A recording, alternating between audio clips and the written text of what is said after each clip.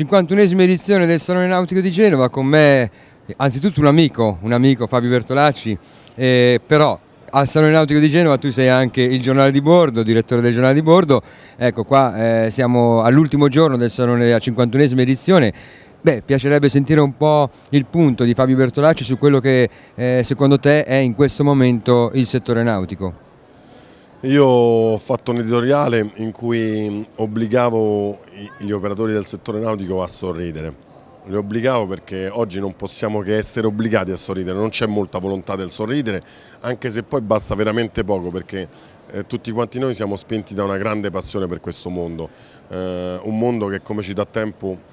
e modo andiamo a infilarci dentro, cioè il mare. Eh, il mare, l'elemento liquido, l'acqua in tutti i suoi aspetti, laghi, fiumi, eh, quindi veramente se ci, ci accomuna la passione e quindi ci vuole veramente poco. Che dire, non possiamo far finta che il settore è in crisi, ma non è solo il nostro settore, è, è, è il mondo che è in crisi, eh, stiamo combattendo contro eh, un, un, ciclone, un ciclone che ci ha colpito. Mm, non lo so, non tutti eravamo preparati, io sono anni che diversifico le mie attività e quindi un pochettino mi sono difeso, eh, anzi mi sono difeso e tra l'altro il fatturato delle aziende che, con le quali collaboro eh, è cresciuto in un momento di crisi. Il problema maggiore è prendere i soldi in questo momento, quindi eh, trovare partner importanti, collaborazioni importanti ma che siano anche dal punto di vista economico solide da poter resistere a, questa, a, questa, a questo ciclone. La nautica che deve fare? Beh, se potesse deciderlo Fabio, eh, facciamo i porti, i porti quelli veri, quelli non come Ponza, come il Circeo che sta in ventesima fila. Eh, gli ambientalisti sono un grosso problema per la nostra nazione. Eh, sono un ambientalista, sono un ecologista, ma troppo, troppo esagerato. Guarda, veramente quello che ho visto nella gara della Maddalena, mi dispiace per il comitato organizzatore, eh, è degno da paese di terzo mondo. O non la si fa o la si fa la gara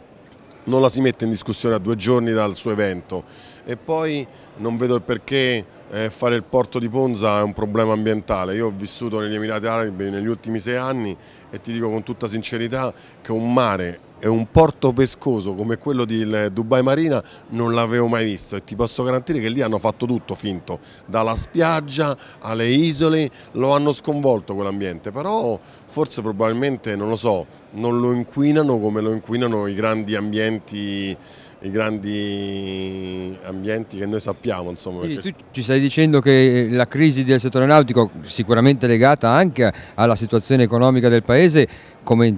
tutto il resto del mondo, però tu vedi un problema grosso su quello che è la passione di poter vivere il mare in un modo eh, più, più, dire, più confortevole, più tranquillo, cosa che non è non viene permesso da tutte queste situazioni che sono legate alle marine e a tante situazioni che si trovano poi per mare, cioè non tanto l'acquisto dell'imbarcazione quanto a poterla vivere l'imbarcazione. Senti, è la, è la portualità il problema maggiore insieme alla fiscalità.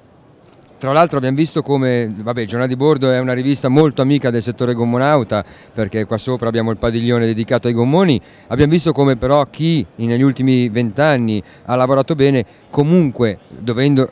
sicuramente si è dovuto confrontare con un nuovo mercato, ma questo mercato selettivo ha pagato chi ha lavorato bene negli ultimi vent'anni, cioè, voglio dire, si è visto come nonostante i numeri siano cambiati, eh, certe realtà no, amiche e cantieri importanti della gommonauta hanno lavorato bene. Eh, diciamo che il settore dei gommoni è un settore che purtroppo eh, è entrato in crisi eh, sia per il settore economico che naturalmente è, de, è difficile in questo momento, ma perché sono nate decine e decine di aziende, cioè, sembra assurdo, ma per ogni azienda che è entrata in difficoltà, che ha messo gente in cassa integrazione, che ha messo gente a casa, è nata una nuova azienda o due aziende anche, che vuol dire? Che purtroppo Um, è troppo facile costruire. Io non credo che se domani la Fiat mette in, in, cassa integrazione mille persone, il giorno dopo, due giorni dopo, un anno dopo nasce una fabbrica di auto. Invece nel settore dei comuni purtroppo le normative lasciano spazio a troppo spazio e quindi è facile produrre e poi le andiamo a vedere. Insomma, io e te siamo andati a far visita a diversi cantieri mamma mia c'è da metterci le mani, io almeno in quei pochi capelli che ho, però veramente sono strutture fatiscenti. E questo non giova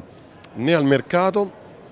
perché naturalmente bene o male tolgono pezzi alle aziende consolidate importanti, né al compratore perché poi quando va a comprare nel momento in cui deve rivendere ha comprato facile e a meno, ma nel momento in cui deve rivendere c'è un pezzo di gomma un pezzo di vetro resina in mano. E soprattutto eh, non giova a tutta la nautica in generale. Quindi questo è il punto eh, editoriale, se vogliamo un editoriale in diretta fatto da Fabio Bertolacci, giornale di bordo, per quanto riguarda questa edizione, 51esima, è stato quasi un giro di boa perché abbiamo fatto il mezzo secolo l'anno scorso e questo è il giro di boa, per te che sei abituato a girare le boe, qua si tratta adesso di vedere come, come navigheremo col vento in poppa sperando che torni il vento. Adesso navighiamo come tutti quanti hanno deciso di navigare a vista, Passiamo, facciamo un passo uno dopo l'altro e che dire, ci auguriamo che i nostri politici, oltre ad attaccarsi uno con l'altro per le loro vicende personali, pensino un pochettino a quest'Italia che è un'azienda che è vicino al fallimento. Il mondo secondo me è comunque un'impresa, anche perché veniamo comunque